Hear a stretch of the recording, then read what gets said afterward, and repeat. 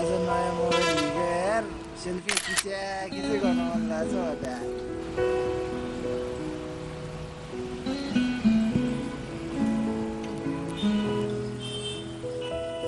यो candy क्रसको level पनि कति नघटेको यार टेन्सनै बनाइसक्यो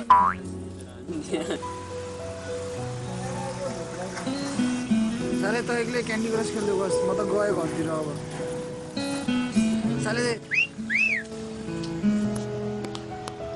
बस्न बस एकछिन भनेको